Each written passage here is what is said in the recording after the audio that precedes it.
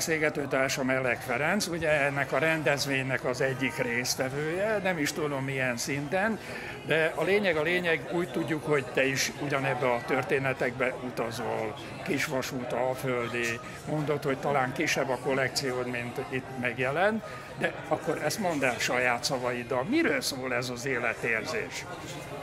Hát értékmentés legfőképpen a kisvasutaknak a történetének a gyűjtése, meg a, úgy, úgy, mint a írott anyagnak, vagy régi levéltári kutatások, nyugdíjasokkal való beszélgetés, vagy itt például a távlaton lehet látni a síngyűjteményt, azt például én hoztam a mai napra, hát, ez nekünk egy olyan értékmentő hobbi, hát egy ilyen Tetszik. Hitvallás, vagy életvallás, vagy nem is tudom. Nehezen találom a szavakat. Igazándiból hol siklott, hol siklott ki az életed? Hogyha így szabad kérd, kérdezni, mert hát, ez szakmáddal összefügg, nem, ez a nem. hobby mánia, mert ez nem csak hobby, mert ez már mánia szerintem akkor a tisztességet szakmádat, ha elárulnád? Hát én asztalosként dolgozom. Ehhez so... képest a vasúti sindek, az azok távol állnak az asztalosi parttól. Így van, így van. Tehát ez, ez nekem tényleg csak a hobbi. És a... mikor, mikortól számít, számítódik ez a történet, hogy, hogy te elkezdtél tudatosan foglalkozni ezzel az értékmentéssel? 90-es éveknek az elején, amikor az országban a vasútbarátok, vagy egy kisvasúttal, kisvasút érdeklődők kezdtek egymásra találni, alakult is egy egyesület, a kisvasútak baráti köre, és akkor ugye egymásra tudtunk találni, tehát én meg tudtam találni a Puszta Szabolcsi, vagy a Nagykanizsai vasút iránt érdeklődőket, és akkor mindenki elkezdte ugye a területén, hát ugye én, meg a Somáik, itt Békés megy, ami nekünk, meg a Szegedi igazgatóság, ami mi hozzánk közel áll a mi szívünk, és akkor itt kezdtük el gyűjteni az adatokat, de például a Békés Csabai téglagyárról is rengeteg adat van a fővárosi levéltárban. Tehát, tehát ezek, ezek a akadályok, meg ezek a távolságok tűntek most el így a 21. században. Hát amióta meg az internet ugye belépett az életünkbe, azóta meg ugrásszerűen megnövekedett a értékmentésnek a lehetősége. Tehát itt a kiállításon is, amiket fényképeket lehet látni, az nagyon sokat a Facebookon tették fel egykori dolgozóknak a gyermekei vagy unokái. És hát tehát messze sokkal könnyebb már most ö, az értékmentés, mint mint 10-15 évvel ezelőtt. Akkor a kisvonatot, amit lehet kint közlekedik, meg ami, amit beszéltünk róla, hogy nekem is van otthon, hát körülbelül olyan 8-10 kisvasút van a, az országban, így magánkézen, embereknél, kertbe, portánban. Ezek is a 90-es években tudtuk megmenteni őket, mert akkor bezártak a téglagyárak.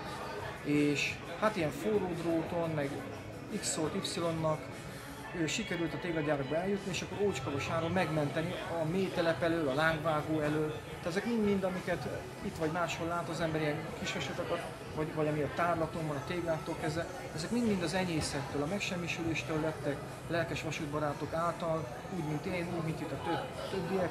Hát egy olyan, hát országos szinten egy olyan 20-25 ember van, aki, aki ilyen értékmentéssel foglalkozik. De persze ezen belül is vannak specialitások, hogy valaki például a kismozdonyokat gyűjti, valaki a nyugdíjasokat keresi föl, valaki irattározik, valaki légi felvételeket gyűjt. Tehát viszont a, a különböző szak, szak oldalról megközelítések, azok összegződnek. Tehát például kiadunk egy könyvet, egy kiadványt, vagy mint itt is, hogy megvalósult most ez a kiállítás, ahol ugye úgy a fényképek, mind a tárgyi emlékek, mind a kisvonat itt van, ilyenkor a csapatmunka azért összetudunk. Tehát összegződik az a tudás, amit megmentettünk itt az elmúlt Igen, mert ez nem egy személyes dolog, tehát nem, ehhez nem, azért egy tím kell, hogy van, megvalósuljon. Hát. Neked ott helyben, Gyulán vannak társaid, akik úgy besegítenek a mindennapokban? Én inkább, nem, nem, nem, hanem én inkább ide vagyok csapódva a Csabai srácok. Csabai srácok. Tehát így nekünk a Békés vegyének itt Békés Csaba központ. Ugye itt van a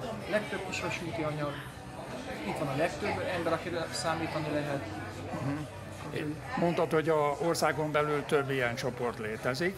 Az körülbelül életkor tekintve, akik vezetik ezt a gyűjtést, szervezik meg, birtokolják ezeket az eszközöket, az korban hasonló korúak, mint ti vagytok?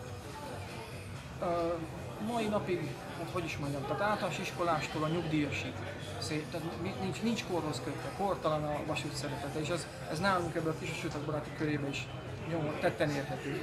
Tehát minden korosztály megtalálható. Hát a 20 évesek a zöm. Érdekes, a, azért, mert pont azért kérdeztem, mert ez a korosztály, a te korosztályod már csak a képek alapján, eh, filmek alapján tudott ebből, még csak azt sem mondom, hogy videó alapján, mert, mert akkor nem is nagyon volt még videó, mert igazán csak kisfilmes világ volt, vagy nagyfilmes világ volt az az időszak. És pont titeket kapott valamiért úgy el a gépszi, hogy, hogy ezt tovább vigyétek, hogy ezt, ezt, ezt nektek kell valamiért a jövőnek, a jövő nemzedékének megőrizni. Átmentem, igen. Hát az érdekes, mert én is például a Gyulai Kisfesútról dokumentumkönyvet írtam, a Csabai Kisfesútról, de közlekedni egyiket sem láttam, mert itt a megyébe 1975-ben szűnt meg az utolsó kisvasút, közforgalmú kisvasút mezőegyesen, én akkor még pár hónapos voltam csak. Tehát a mi életünkből lehet, hogy pont ez a titka, hogy a mi életünkből kimaradt ez a kisvasúti világ, és, és, és de mégis akarjuk, és mi is akarjuk, és azért tesszük, amit teszünk, azért írunk, kiállításokat szervezünk, vagy mint ez a mai napon ez a kis vonatozás, ez mind azért van, hogy valahogy megpróbáljuk mégis visszahozni azt, amit, ami már nem lett a mi életünk része. Hogy mégis lássák az emberek, hogy milyen volt az 50-es, 60-as, 70-es években egy, egy téglagyári kisvasút, vagy egy közforgalmú kisvasút, ami végigbaktatott mondjuk Csabán az Andrássy úton. Jó, ennek a mesdjén haladva akkor a mi életünk, akkor, akkor én is mondhatnám azt, hogy az én korosztályom, vagy a előttem való korosztályok a kőbaltát megmentették, vagy nem mentették meg. Annyira nem mentették meg, mert mindig csak kutatások által kerül elő. De ez a ti szemléletetek, ez többről szól. Tudatosan, kellő időben mentetek utána, és nem magatokra gondoltatok, hanem a jövő nemzedékére ezzel gyakorlatilag, mert azokat az értékeket megőrizni, akár ócskavas telepektől, vagy a, a beolvasztástól, azért ez nem kis áldozatot kíván. E, munícióban se mindegy, meg logisztikában sem mindegy azért hova. Hogy, hogy a családban volt valaki ilyen érdeklődésű, vagy netán érintett ebbe a dologba? Hát így a csapatban vannak, akik... Családban? Családban. Szüleid, nagyszüleid? Hát nálam ne.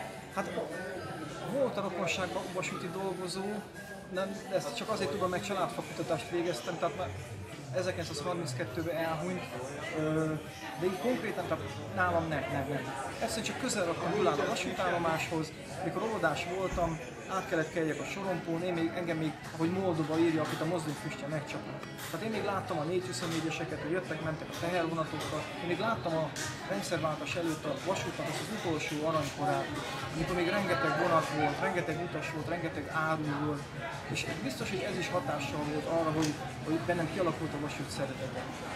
De egyébként tényleg ajánlom, a Moldova könyve, ha már így szóba került, azt ajánlani tudom bárkinek, hogyha azt elolvassa, akkor meg fog érezni egy valamennyit abból. Meg titeket meg fog érteni? És minket meg fog valamilyen mértékben érteni, hogy, hogy miért van ez a vasút szeretet.